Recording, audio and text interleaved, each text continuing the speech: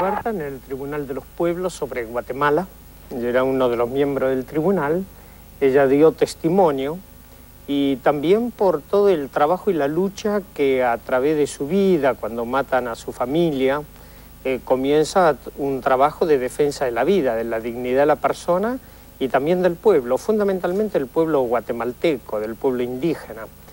Y la propongo también por su doble condición de ser mujer e indígena. ¿Qué pasó, Rigoberta, con, con su gente, con su familia y con, con sus pares, con los indios? Bueno, en primer lugar, si hubiera sabido que tenía una entrevista en la televisión, me hubiera puesto más guapa. Está bárbara, está pero no pude hacerlo. Está guapísima, tiene unos eh, trajes espectaculares. Este, yo nací campesina, trabajé en las fincas ah, agroexportadoras de café, de algodón, de caña de azúcar y soy autodidacta.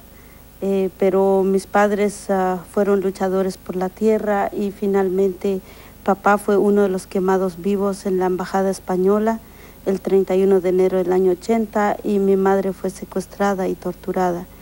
En fin, pero quizá lo más importante es que todos estos años han sido muy, muy hermosas experiencias. Lamentablemente tuve que perder a mis padres para ello. ¿Cómo fueron esas experiencias? ¿Qué puede contar usted de?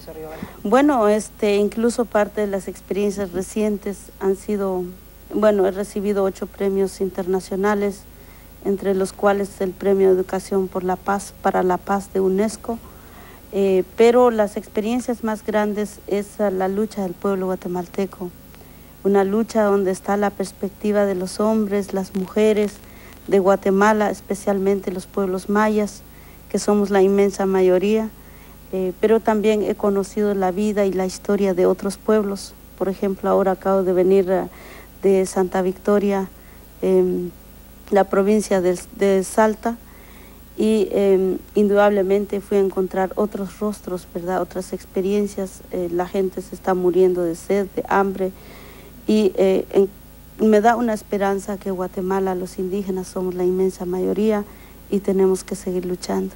¿Y luchan todavía por la tierra? Bueno, por la tierra, pero más que todo allá estamos luchando por cosas mucho más grandes, es decir, por la participación en la decisión de nuestro destino, la participación política, económica, cultural y militar incluso. En Guatemala somos alrededor del 65 a 70% de la población eh, herederos de los mayas. ¿Qué año difícil este, o contradictorio este para una defensa de los indígenas y festejándose los 500 años del descubrimiento de América? ¿Cuál es tu posición, Rigoberta, al respecto? Bueno, yo siempre he dicho que todavía no sabemos si, Cristóbal Colón descubrió América o descubrió que estaba perdido. Eh, pero, pero en primer lugar pienso que no se puede festejar, más bien hay que promover una reflexión seria no solo reflexión de los graves errores que se han cometido en la historia, sino sobre todo para reconocer la pluralidad de América el día de hoy, la existencia de los pueblos indígenas y darles un primer lugar. El 10 de diciembre de este año empieza el Año Internacional para los Pueblos Indígenas.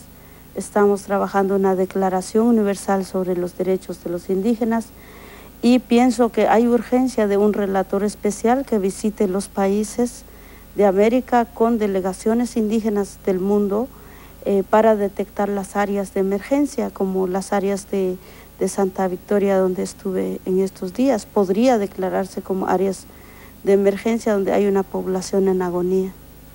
Y don Pérez Esquivel, que ha sido maestro, maestro de dibujo mío. Sí, ha sido maestro de dibujo mío, de verdad lujo que uno se da, tiene un premio Nobel de maestro de dibujo. ¿Eh? Digo, si voy a estudiar dibujo, voy a estudiar dibujo con alguien que más o menos, ¿no? ¿Y cómo es esto de promover, a, en este caso a Rigoberta, para... O sea, un premio Nobel tiene la posibilidad de, elegir una persona y promoverla. ¿Quién, quién puede promover eh, a alguien para premio Nobel?